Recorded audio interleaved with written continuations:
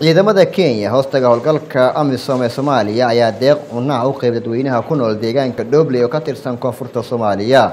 Deeqdaas oo ay ka faa'iidaysteen boqol qoys ayaa lagu talagalay in lagu xoojiyo xiriirka ciidamada ee dadka deegaanka dhobley korneel xasan jaalla oo ah taliya ku-xigeenka ciidanka ayaa deeqdaasi ku wareejiya ayaa sheegay in deeqdu ay tahay mid loogu talagalay dadka barakacayaasha ah iyo qaxootiga soo laabanaya.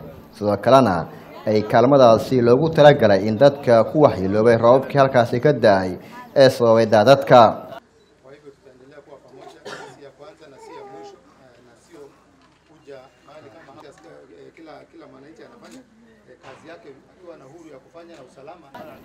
ku-xigeenka guddoomiyaha dhoble ee dhinaca arrimaha bulshada mukhtaar axmed sahal ayaa aada ugu ammaanay ciidamada kenya deeqdaasi ay siiyeen dadka deegaanka. Dadkan hadda dhammaaday sannadkii naga dhammaaday laba kun iyo sagaal iyo tobanka sidaasin bay u wadeen ayagana muxuu ahay eh, taakulaynta dadka tabardaran iyo masaakiinta.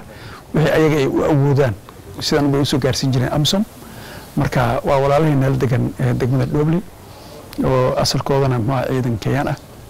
Haddana ku shaqeeya amisom marka aad iyo aad baan ugu mahad celinaynaa taakulaynta ay dadka shacabka ah ee dhobley ay soo gaarsiiyeen maryan maxamuud ibraahim oo ka mid dadka deeqaha loo fidiyey heshayna bariis iyo saliid cunnada ayaa sheegtay in deeqda ay ku soo beegantay wakhtigii ku habboonaa ayna u baahnaayeen inay helaan deeq nuucan oo kale ah.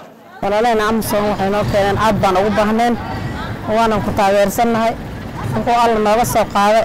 Waa waxaan u baahneenna waay waaban baahneenba dad baa hay haasaaban ahaynba asa aadan ugu faraxsannahay waxay na siiyeen waanan maxay ahayd aad ugu faraxsanahay. Eh, intaasna inay ka sii wadaanaan rabnaa oo wax ka saa'idsan ay noo keenaan oon ugu faraxno. Eh, maxay ahayd baahidaa taallaa magaalada aad bay baahi u taallaa.